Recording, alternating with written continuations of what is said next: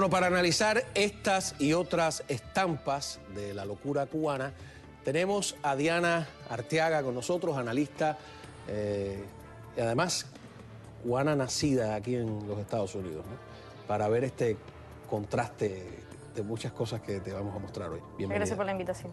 ¿Cómo no? Y tenemos también a Armando de Armas, periodista. Bueno, tú sí viviste en Cuba. Yo creo que personajes como este te son Muy familiar. muy familiares, ¿verdad? Gracias por invitarme. Eh, vamos a empezar por el que conoce estos personajes. Es interesante lo que dices, ¿no? Este no es un personaje poco común, sino que en, en la Cuba de hoy, su hablar, su gestualidad, su filosofía, no lo estoy ni juzgando, Claro. es un hecho concreto, ¿no? Quienes están aquí hace 30 años y quieren regresar a Cuba, tienen que estar listos para tener este tipo de personas sentadas a su lado discutiendo sobre la realidad.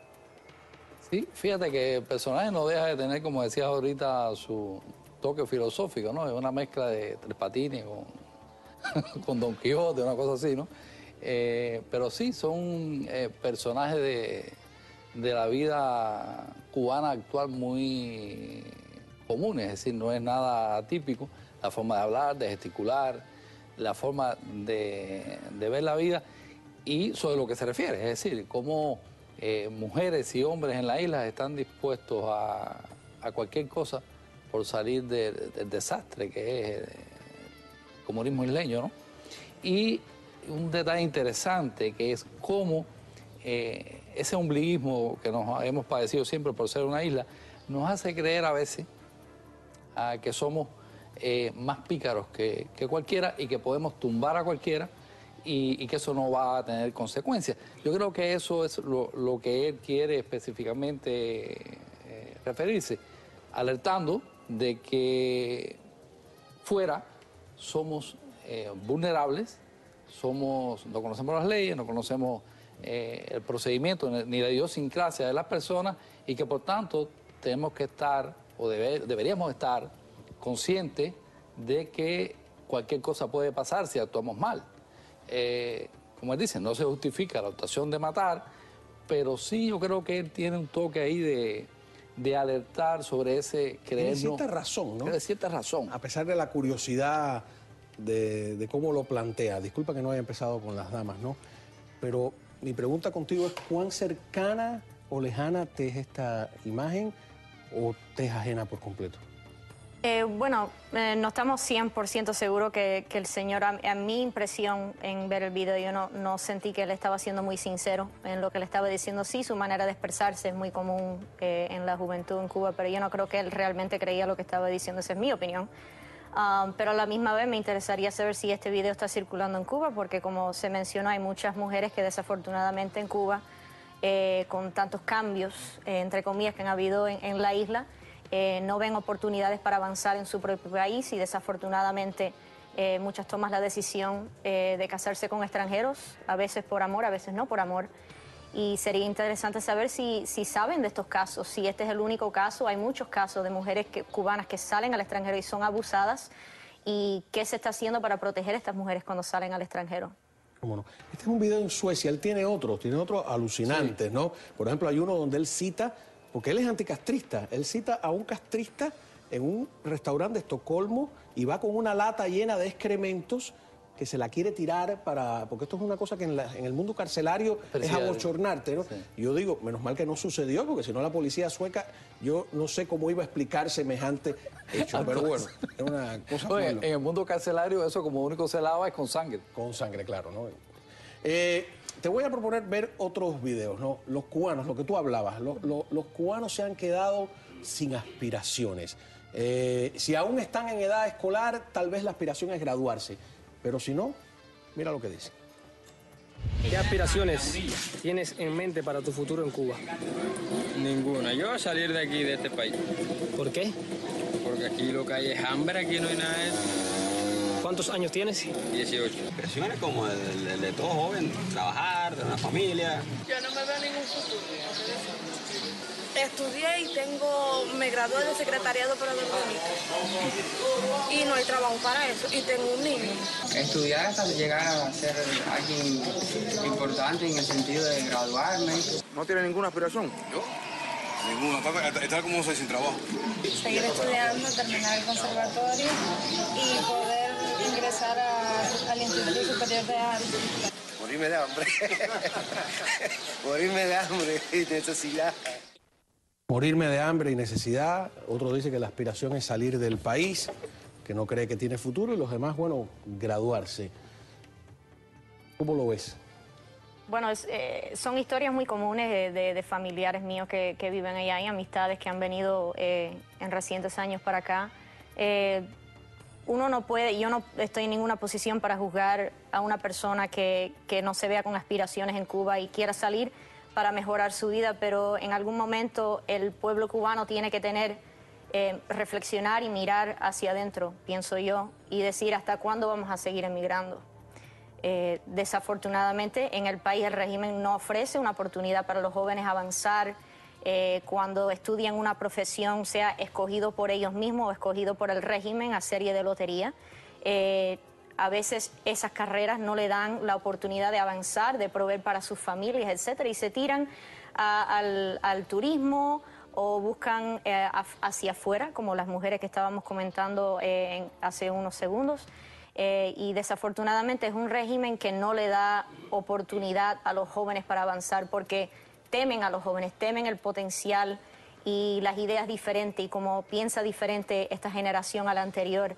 Eh, y ellos temen de los jóvenes porque ellos mismos fueron jóvenes y saben las ideas radicales y diferentes que pueden tener la juventud. Y yo creo que la juventud en Cuba va a ser el futuro de Cuba. Son los que van a traer un cambio, porque los jóvenes somos los sie- siempre los en todos los países que has visto un cambio en Europa del Este, en Hungría, en Polonia, en Lituania, se ha visto que los jóvenes son los más sensibles a las injusticias.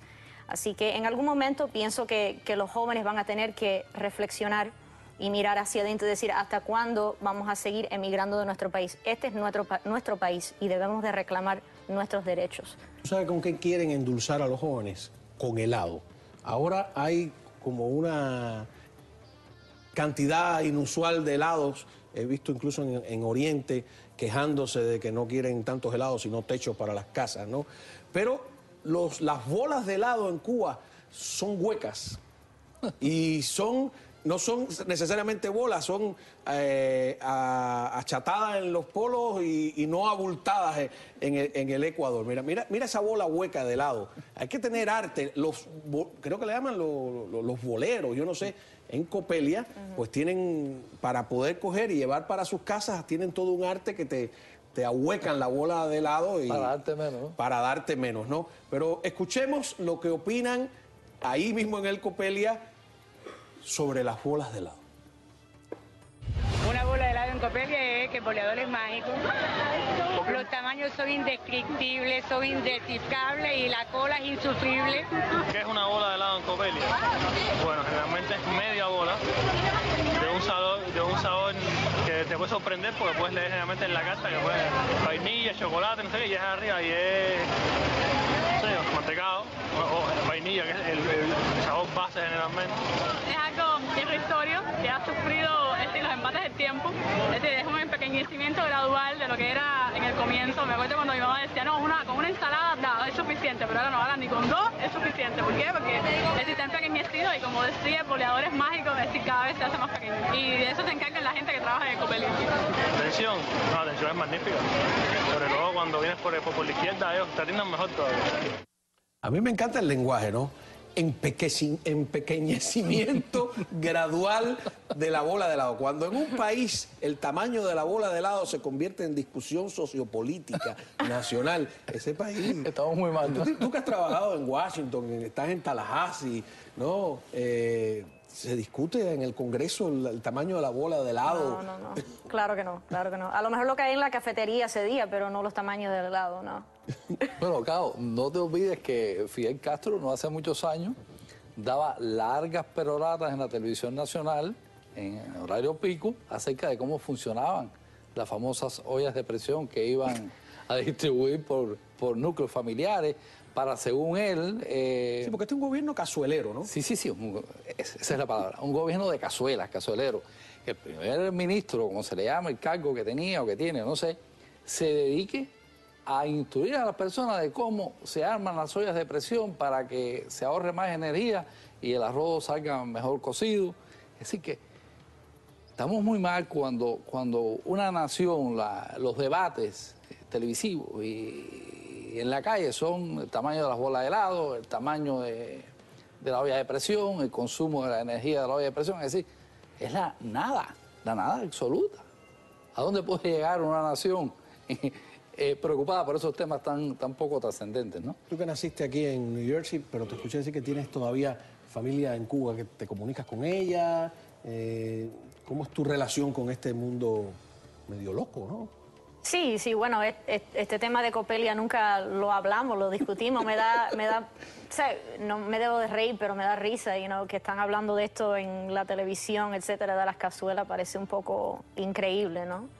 Pero, pero sí, me comunico con la familia allá eh, con mucha dificultad, pero, pero sí, se, se oye cosas parecidas a esta, de la escasez que hay ¿De qué parte es tu familia? eh, de la central, central de la isla. De ahí, de la, como de las villas, por allá, ¿no? Qué bien. Mira, hay cosas más serias que la bola de helado, que es, a finales del siglo XIX, una gran crisis sanitaria en Cuba que hizo desaparecer prácticamente el 10% de la población. Hoy estamos abocados a esa crisis sanitaria y la gente se está quejando del agua, al agua prieta, oscura, de la basura que no la recogen. Y en el medio de eso, las epidemias, como el cólera. Vamos a ver. Criterio que tengo del agua, que es la más mala que hay en el mundo. Aquí no suministran agua y te cobran como si te lo hubieran dado servicio. ¿Verdad o mentira? Todos los meses yo venía a. Y además de decir una cosa, que están cobrando el mes que viene y no te lo han dado todavía. No te han dado ni este, ya te están cobrando el mes que viene, para que tú lo sepas. Es una falta de respeto. En esta zona se pasan 15 hasta 20 días sin agua y fácilmente te dicen a- al término del tiempo ese que, que se rompieron los motores. Y entonces uno tiene que volverse loco pagando por una pipa de agua 200 y 250 pesos. Habiendo niños chiquitos, habiendo personas enfermas, habiendo crisis con el cólera, con la salud, con todo. El churre cae en la calle donde quiera. Y esta gente se llena la boca de decir que en Cuba hay servicio de agua.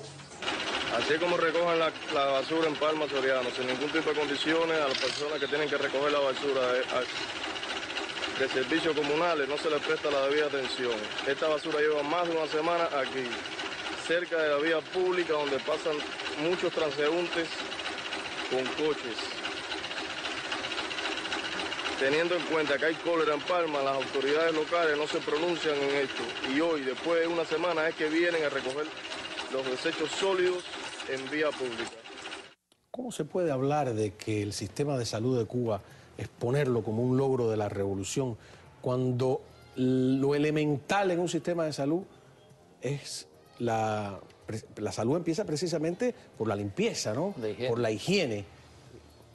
Sí, mira, eh, eh, me alegra que hayas traído esto a colación, porque inclusive algunos cubanos recién llegados, llegados de la isla, eh, tú los, son anticastristas, pero tú los oyes defender cosas como la adecuación o el sistema de salud, que un sistema de salud, por no hablar ya de la educación, que no estamos en eso ahora, que no tiene ni aspirinas, que no tiene la higiene, el jabón, es lo elemental.